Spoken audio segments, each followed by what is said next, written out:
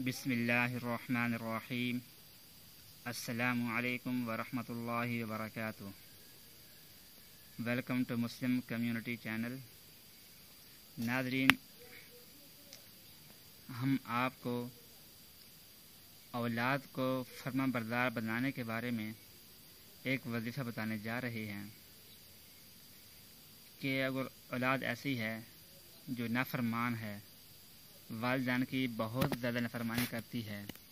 वालदान का कहना नहीं मानती। वालदान की बेदबी करती है।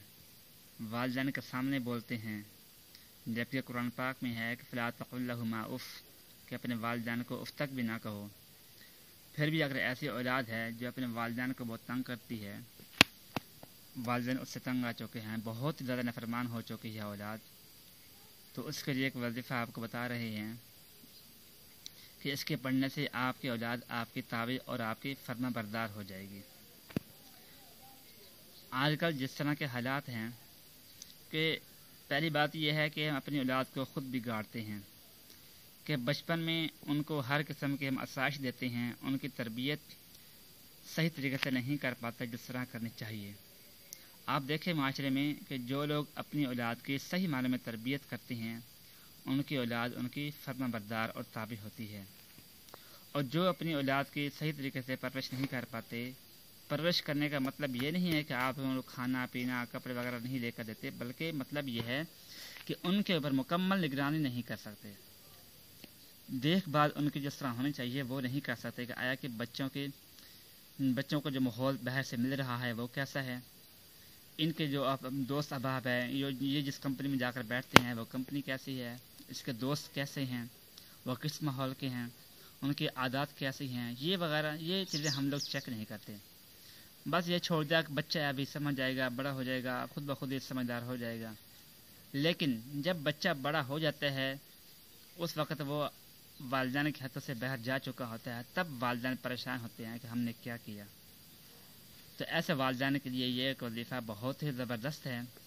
अगर आप ये वजीफ़ा पढ़ेंगे तो इन आपकी औलाद जिस तरह की भी होगी, जितनी भी ज़्यादा नफरमान होगी, वो आपकी फर्मबदार और ताबी हो जाएगी। वजीफ़ा ये है कि कुरान पाक का पारा नंबर 26 हामीम, पेज नंबर चार सौ चौवन सूरतलक़ाफ़ इसके ऊपर है ये आयत कि वसैदल इंसाना बिवालदही एहसाना हमलत उम्मुह कुरहम ववज़अत कुरहा। वहमलुह वफ़िसालुह सलासून शहरा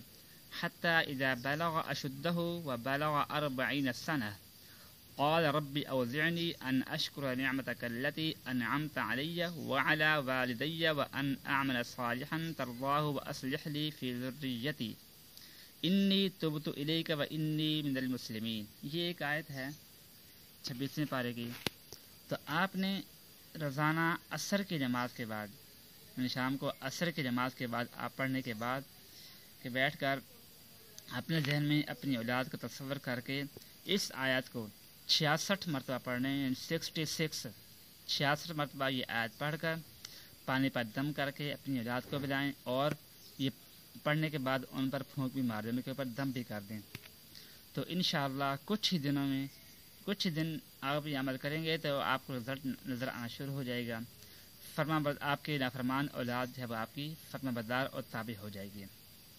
और आप खुद हैरान हो जाएँगे कि एक ऐसा वजीफ़ा है, कितनी तासीर है कि कुछ ही दिनों में आपकी औलाद जो आपको देख कर राज़ी नहीं थी, आपको घर से धक्के बहर दे रही थी, आपके साथ बात करने को राज़ी नहीं थी, और वो आज आपकी फरमाबदार और ताबी है और आपके पाँव धोकर वो पी रही है।